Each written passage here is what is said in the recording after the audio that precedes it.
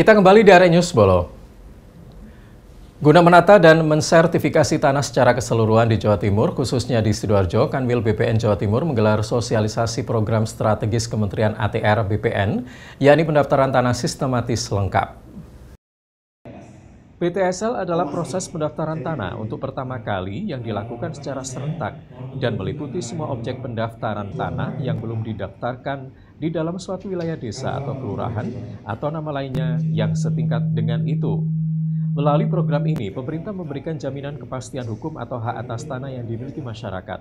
Metode PTSL ini merupakan inovasi pemerintah melalui Kementerian ATR atau BPN untuk memenuhi kebutuhan dasar masyarakat. Program tersebut dituangkan dalam Peraturan Menteri Nomor 12 Tahun 2017 tentang PTSL dan Instruksi Presiden Nomor 2 Tahun 2018.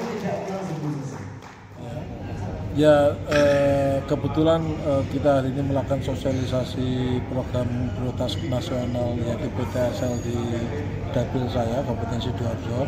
Tadi ada informasi bagus dari ada Kanwil bahwa 38 kabupaten kota ada 12 kabupaten kota yang sudah eh, apa namanya mengeluarkan peraturan bupati atau peraturan wali kotanya yaitu untuk membebaskan PPATP atau minimal eh, meringankan eh, PPATP lah ya.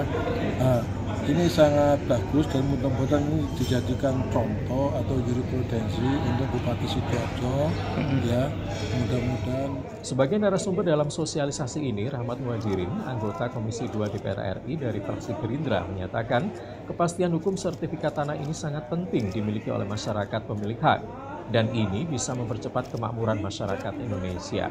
Selain itu, dengan sertifikasi tanah ini juga menghindari adanya permainan mafia tanah yang merugikan masyarakat.